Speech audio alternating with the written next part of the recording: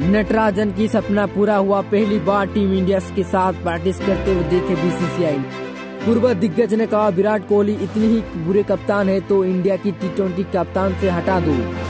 21 साल के बांग्लादेश क्रिकेटर ने की आत्महत्या। टी ट्वेंटी टूर्नामेंट में नहीं चुने जाने से ये निराश। शाहिद आफरीदी को आउट करने के बाद गेंदबाज ने हाथ जोड़कर माफ़ी मांगी। बाउंस पिचों के लिए टीम इंडिया की तैयारी। टेनिस रेकॉर्ड से हो रही है प्रैक्टिस पुजारा ने बोला, स्टीव स्मिथ और वार्नर अच्छे खिलाड़ी हैं। चैलेंज के लिए तैयारी टीम इंडिया के बॉलर्स पाट कमिंस को भरोसा, भारत के खिलाफ मिलेगी तेज और उछाल, भारी पीठ। एडिलेड में बढ़ रहे हैं कोरोना के मामले, भारत ऑस्ट्रेलिया के पहले टेस्ट पर संकट। भारत के खिलाफ खेलने के लिए बेताब ये नौजवान खिलाड़ी रफील सिंह ने जड़ा था शतक। धोखा करने वाले खिलाड़ी पर बढ़ेंगे गवास्कर। कहा लोग चोट छुपाकर आ जाते हैं ताकि पूरे पैसे मिल जाए।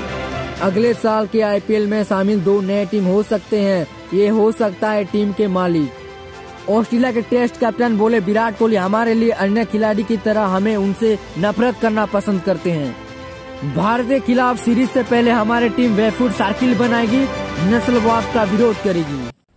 हे गाइस खेल के जगत में ताज़ा खबर अपडेट देते रहेंगे। वीडियो को अच्छा लगा तो सब्सक्राइब करना मत भूलिए। फिर नेक्स्ट वीडियो में मिलते हैं। तब तक के लिए धन्यवाद।